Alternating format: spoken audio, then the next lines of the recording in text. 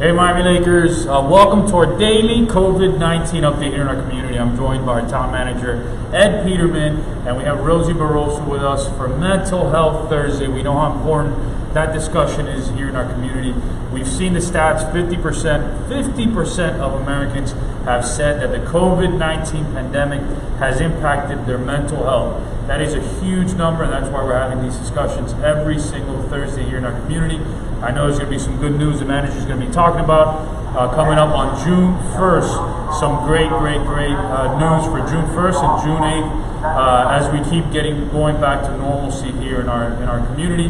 Uh, bienvenidos recién aquí en nuestra comunidad. Hoy es el update de nuestro día, de nuestro eh, COVID-19 de cada día.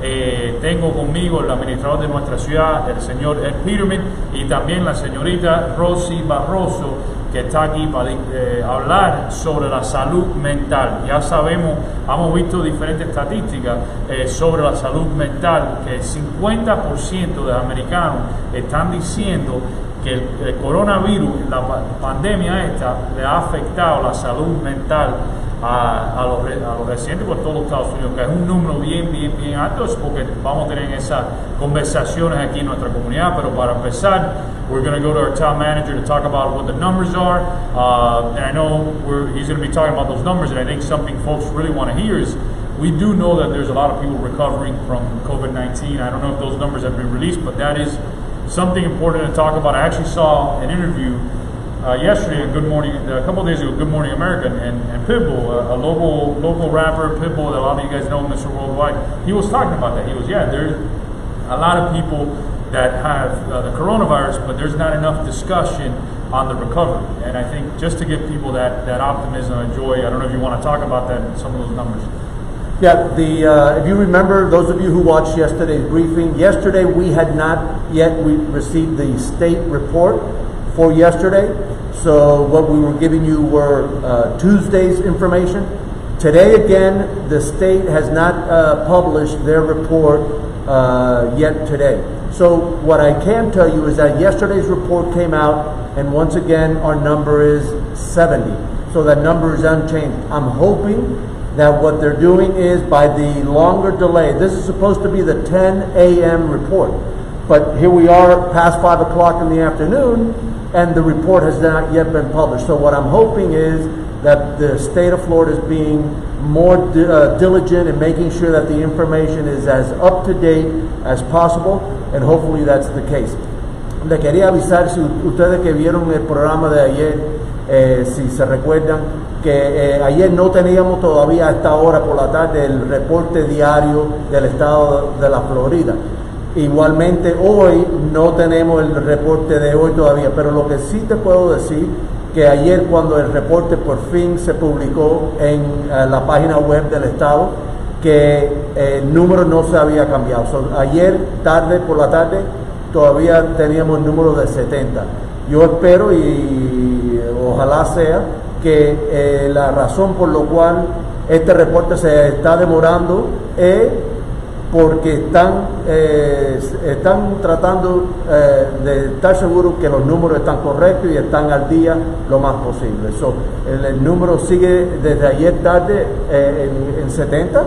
Y I also want to now, also, if you don't mind, Mayor, just to report a little bit about, uh, we mentioned it yesterday, but finally late last night, the actual order from Miami-Dade County uh, was published, reopening beaches, pools, uh, hotels.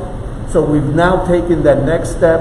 Uh, June the 1st, those uh, types of amenities will be reopened, obviously with restrictions dealing with social distancing.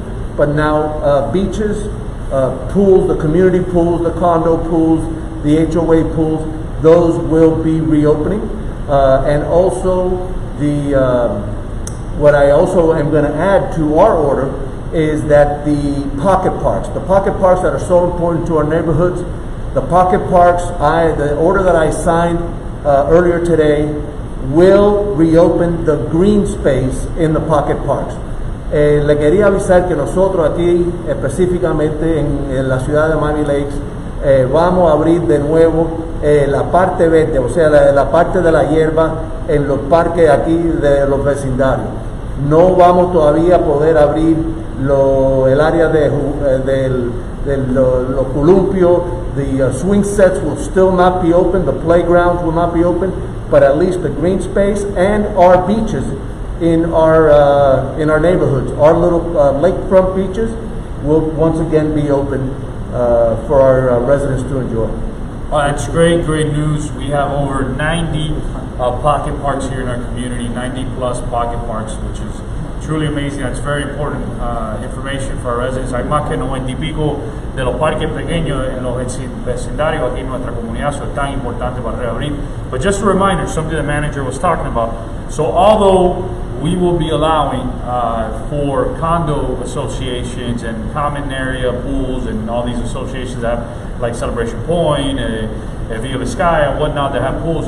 That doesn't mean that although we allow it, doesn't mean that some of those associations will be reopening. I'm sure that there's going to be some that some associations because they have their own boards. Uh, they're going to be making those decisions, and, and does that mean that they have they are forced to reopen, No. or they have that? It's the same way everything works. So the federal government, once they reopen, states can make a decision to uh, either do it or not do it. They can be more restrictive, they cannot be more liberal.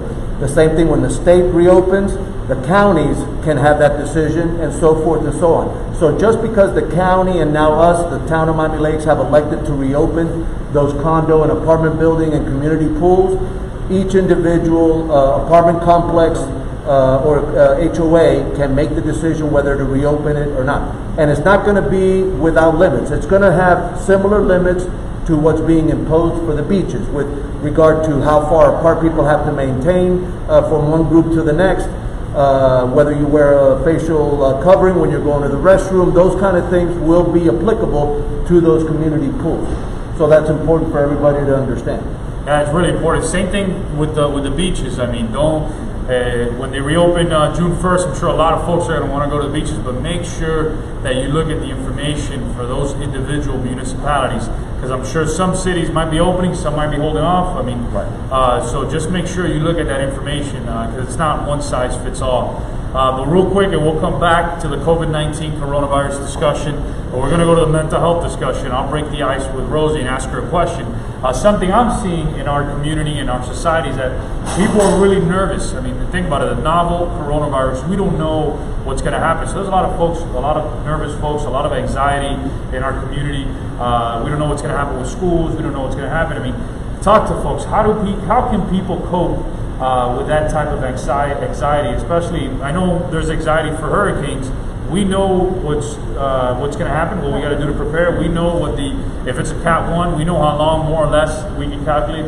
But something like this, how do people deal uh, with anxiety? What are your, what are your recommendations? I know you've been on this before, so the folks know you very well. I mean, so what are your thoughts on that? Break the ice for that, and then we'll have a discussion going forward. Um, hi everyone. I think the best thing for that would be um, stay informed, definitely, from reputable sources. Understand the rules. Um, implement any sort of relaxation strategies you might have, and try to keep, a clear head. And and I think trying to understand also like where your rights end and the next person starts, so you don't have to get into any argument or anything like that. And it's very difficult to try to stay calm when you kind of don't even know what's going to happen because everything is changing constantly. But you know, I think you've said it a bunch of times that there's light at the end of the tunnel. I, I think if we stay calm, we'll get through it. So, any other tips for the community besides that? What are you, what are your mental health Thursday discussion? What uh, what do you think? Um, I think it, it's pretty much what I just said now. To just go ahead and try to stay as calm as possible. I know we've had other wonderful professionals on here giving tips, uh, taking deep breaths. Uh, the fact that the pools are opening and all that's going to be wonderful because they give you a place to go out, to de-stress, to disconnect from being, you know, trapped in the walls of your home. Um, turning off the computers a little bit, swimming if you can go to the beach or if you have a pool. And um, always know that if those things don't help, you know, stay in tune with yourself and reach out to a professional if, if you need the assistance. So you heard it. I mean, if you're if you're home, if if if you need some assistance or anybody just to talk to me, Rosie, how do they reach you? They can reach me at 305-530-8119 and I can put the link at the bottom of the comments when we're done here. Um, we are still offering free therapy. I know there's other professionals in town also offering free, free therapy. Um, and if you just need to talk to someone, I'm sure many of us here in town are willing to help you with that. Uh, very good. As you heard it, free services reach out, local businesses are willing to help, which we know is so, so, so important. La discusión de la salud mental, Rosy, la persona está muy ansiosa, eh, no sabe lo que va a pasar con el coronavirus, cuándo se va a terminar, qué está pasando con la escuela, qué está pasando con la clínica, ¿sabe? ¿Qué, ¿Cómo lo podemos ayudar a las personas? ¿Qué le podemos decir a las personas que están mirando? ¿Qué pueden hacer para, para lidiar con, con el problema este, la ansiedad, no saber lo que está pasando? ¿Qué, qué tú piensas? Eh, mi opinión es tratar de educarse en la información, saber lo que puede hacer, lo que no puede hacer, lo que la, la realidad de- de- del virus y cómo se, se contrae, se contrae, perdona, Eh, y, mantenerse lo más tranquilo posible y también tomar en consideración que quizás que otras personas estén un poquito agitadas también, so, estar más tranquilo cuando están interactuando con otras personas. So, gracias Rosy. Rosy tiene un programa gratis de la oficina de ella. Eh, si necesita alguien para hablar, eh, tenemos una conversación. Ella está di- disponible, está dando, proveyendo a nuestra comunidad el servicio gratis de, la oficina de ella. ¿Cómo te pueden llamar? ¿Dónde te pueden encontrar? Al 305-530-8119 y también en los comentarios voy a poner la información de la oficina. Y también hay otros profesionales en el town que también están dando servicios gratis. Se puede comunicar conmigo o mirar el, el resource page. También hay, hay otros profesionales que pueden buscar la información. So lo viste ahí, Mental Health Thursday is so important to keep having that discussion here in our community. Uh, thank you, Rosie, for, for giving back, for volunteering, and thank you to all the other providers uh, that are giving back. So that's so, so, so important. Uh, Mr. Manager, one thing that, that, that, and I know we probably don't have that information, but I think hopefully we get more and more is, is uh, folks that, that recover. And I think one thing that a lot of people tell me is like, hey, well, I want to see more stats on, on recovery. And I think what we've seen is that some folks are asymptomatic, right? There are, I- I think we saw on the, uh, just by what we did from the COVID 19, there was 3% of folks that had uh, the coronavirus. In the county, there was about 6%. 6% of our residents, that's 1,900 people. I mean, that's a lot of people. Um, so I know those are the stats you're getting. What do you recommend for people asking for that information? Because I think it brings uh, a sense of normalcy, right? When you tell people, hey, uh, yes, is it highly infectious? Yes, we know that in indoor, especially indoors, the coronavirus is highly infectious if you're not wearing the proper PPE. But we do know that the rate, you know, not only asymptomatic, but that folks are recovering is, is higher than it's even being discussed. I mean, what do you recommend to folks that are nervous about that and can't get that information? I know it's hard for us, as even the town government, to get the, the recovery numbers. I mean, what, what's your recommendation folks? Yeah, it's, it's important for people to realize that when I say that we have 70 confirmed cases, that does not mean that we have 70 cases right now with, that people have the coronavirus. Obviously, we're now a month or two and a half months into this, so the people who were originally uh, sick are now no longer sick. They go into that uh, group of people that have now built up immunities. Uh, so, le quería avisar que cuando yo digo que el número de casos confirmados es 70, no quiere decir que hay 70 personas activamente ahora con la enfermedad.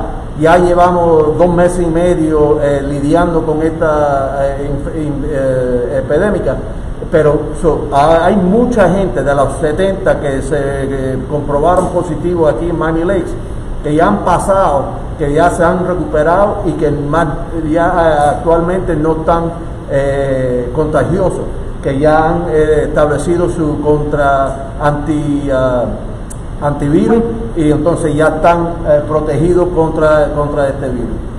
Yeah, so we know how important that, that is. And a, a couple things, I know we still have um, the, the banner program. Uh, Claire, so how many folks have already bought banners for seniors? We have 65 confirmed banners sold. So 65 people have bought already the banners that are going to be going on 154th. Uh, that program program ends June 7th, and that is for high school seniors. Uh, you don't have to go to high school here in Miami Lakes. All you have to do is be a resident of our community, and, and you're eligible for to be on that banner anywhere on 154. So 65 have been sold, and that ends uh, June 7th. So that's uh, that's very very important information. I know also Saturday at Royal Oaks Park from 11 a.m. to 5 p.m. We'll be doing the, the antibody test again. It is a blood drive, so just remember that it is a blood drive, but they will be testing for the antibody. uh, which we know is so important. I know last time 3% of everybody tested uh, tested positive for the antibody, but it's important to get that information. Uh, and, and we're not saying you can't get coronavirus again. I think that's one of the things people talk about. They don't know, they're not for sure. But we, what we do know is that if you have the antibody, you then become eligible to donate plasma. And there's already a bunch of studies ongoing that it may be helping people who are in a very bad situation in the hospitals right now with, with coronavirus. So we encourage everybody come out on Saturday, donate blood. If you, if for some reason you, you were asymptomatic and it comes out positive that you had the coronavirus, you become eligible for plasma. And we definitely encourage people to donate plasma because you could possibly save uh, somebody's life. We're, we're hearing more and more of that, which I think is so, so important.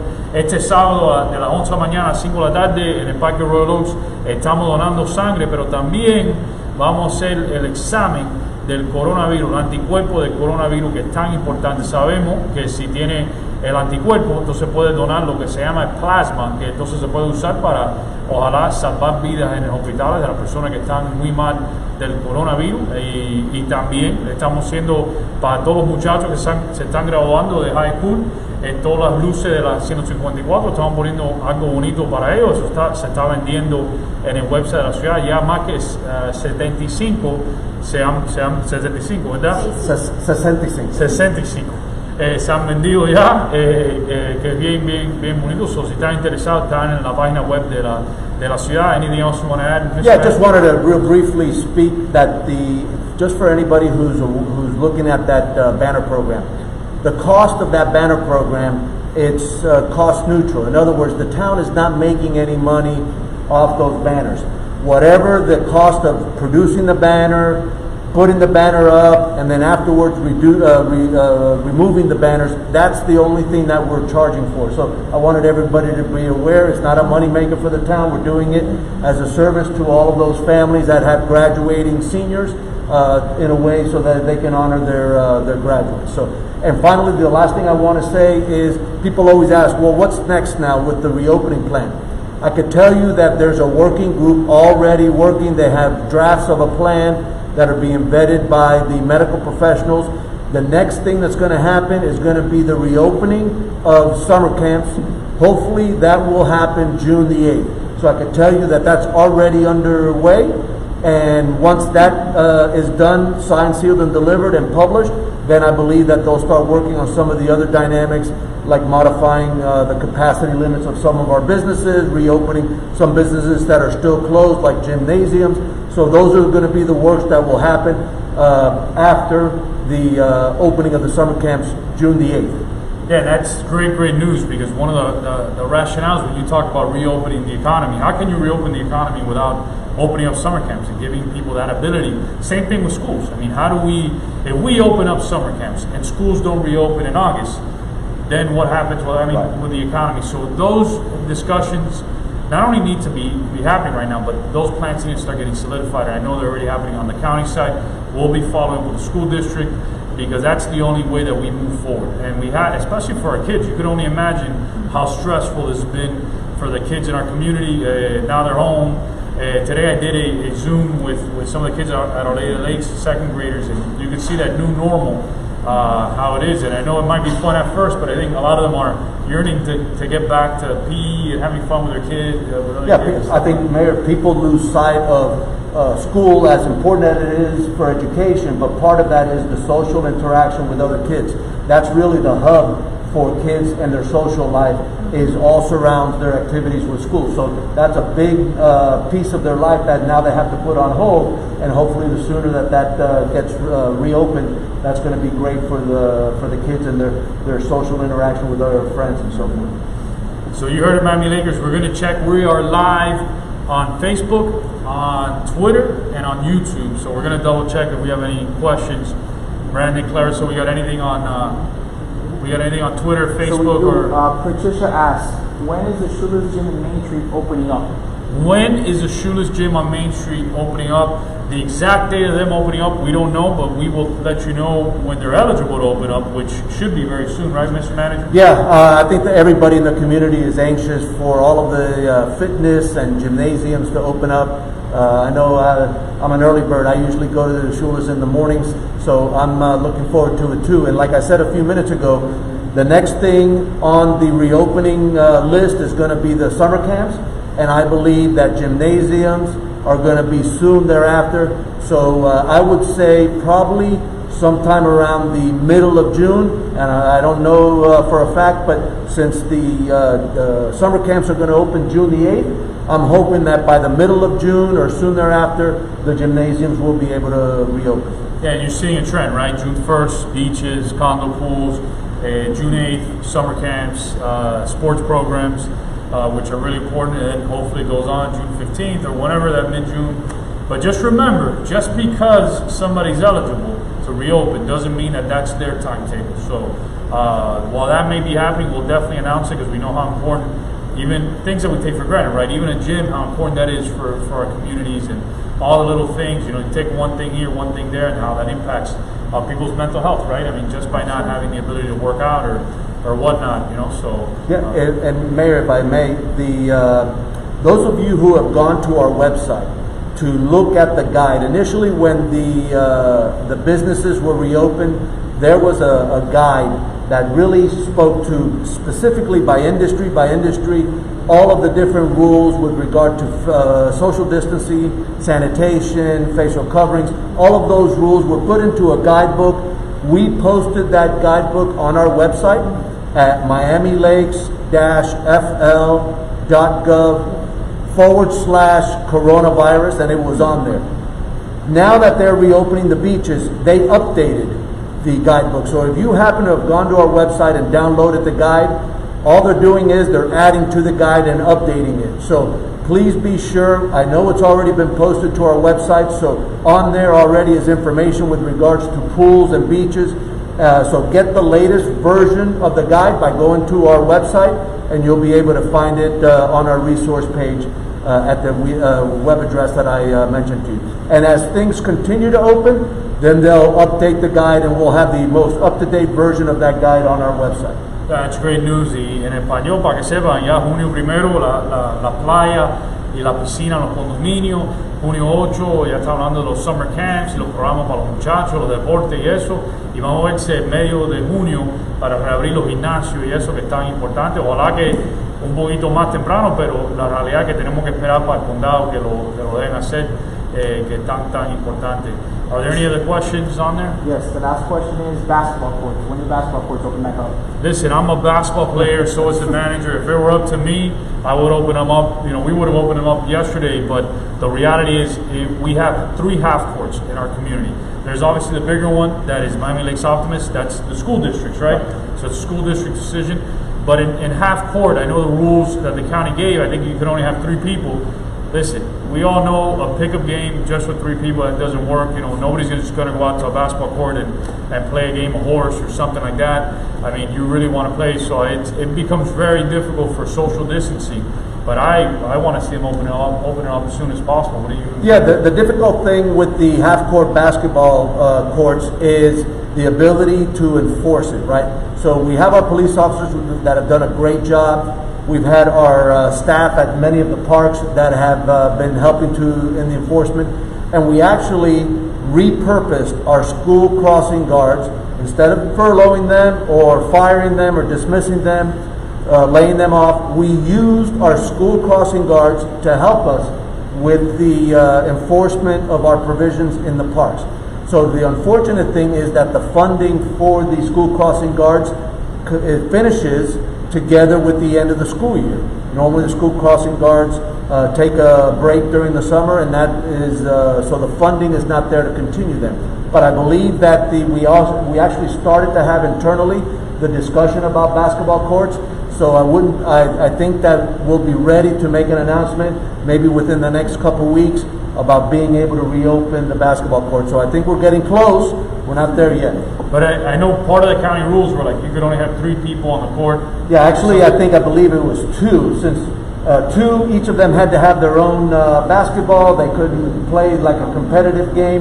So it was very limited what the county rules allowed, and we didn't think it was worth the risk to open up our courts uh, because the enforcement, being able to make sure that people were adhering to that, was going to be a little overwhelming uh, and uh, quite a burden for the for us as a small town. Yeah, and I think those rules are, are very difficult for, for basketball players, right? I mean, you all watched Jordan's last dance. Everybody want to get out there and start playing some hoops, but Yeah. having those rules that the county has right now, it's really impossible to even have a, a pickup game. You can't have a pickup game, right? Right. Under the county rules. Correct. Um, so that's where that's where we're at right now. You know, hopefully we can reopen them sooner rather than later and get back to some normalcy with uh, with some real basketball, right? They can play horse. Two guys, they can play horse. They each have to have a basketball. That's it. You got to have separate basketballs. You got to get off the court, and uh, yeah, it's It's complicated. yeah, yeah, yeah. Hey, anything else? Uh, Twitter. Go ahead. Uh, Mayor, hurricane season officially starts Monday, and we want to remind Miami Lakers of the disaster preparedness, preparedness sales tax holiday, which begins tomorrow and extends through Thursday, June 4th. Well, they, During, during this sales tax holiday period, qualifying items related to disaster preparedness are exempt from sales tax. sales tax holiday starts tomorrow. Hurricane season is right. Is is about to start. We've already seen two uh, two named storms. We're at Bertha, so it's really early compared to what. Uh, so they're pre the normal uh, calendar. So But just know that we're prepared. Obviously, we're still under a state of emergency when it comes to the coronavirus, but our staff is doing a good job. Our incident command structure is in place. We are prepared if, hopefully not, but if anything were to happen, we will be there for you. And unlike a novel coronavirus, uh, that's something we've already gone through and we already know what to do and our systems and processes are already in place. Last year, thankfully, nothing happened, but we were prepared if the storm was going to happen last year. So our folks are doing a really good job and they're prepared. But yeah, the, the sales tax holiday starts tomorrow. So please, please, please take advantage of that. Go out, prepare, get whatever may be, uh, all the supplies, the the, uh, the, the flashlights, Batteries. the batteries, all that stuff. Make sure that you're prepared. I think part of the recommendations is that you should have at least supplies for seven days, right? I mean, Yes. that so the recommend what it's recommended get enough supplies for seven days.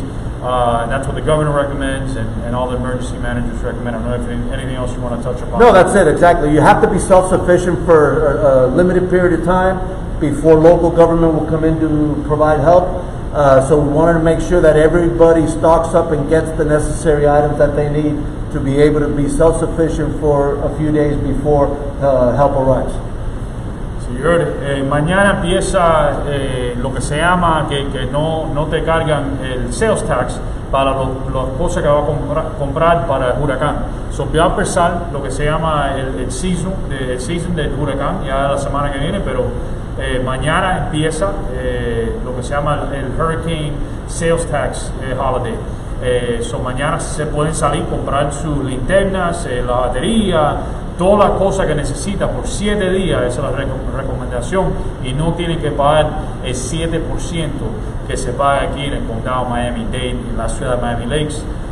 So, esté seguro que empezando mañana saquen y cogen su- sus necesidades para, para el season de huracán. Ya el equipo nosotros aquí en la ciudad estamos listos para si algo, eh, si algo pasa. Ya, ya hemos pasado varios huracanes aquí y están 100% listos para, para servirle aquí.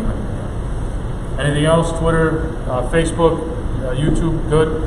So thank you, Miami Lakers, and remember something very, very, very important, especially with the uh, the sales tax holiday starting tomorrow. Shop local, eat local, enjoy local. Keep everything here local. That is so, so, so important. Keep stimulating our economy uh, because we know that, that our town is strong. Uh, You heard it yesterday from our town manager talking about our budget.